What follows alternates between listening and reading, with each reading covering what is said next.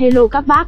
Tình hình là dạo này có nhiều khách bảo không tìm thấy cửa hàng em ở đâu, địa chỉ thì không thấy trên bản đồ, mà em không biết chỉ thế nào.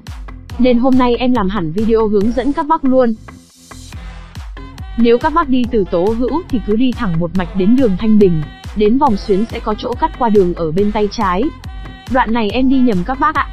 Qua bên kia thì rẽ phải vào ngõ một Thanh Bình, ngõ đầu tiên luôn nhé. Rẽ phải tiếp rồi đi thẳng khoảng 100m là thấy Hello Bike đỏ chót liền.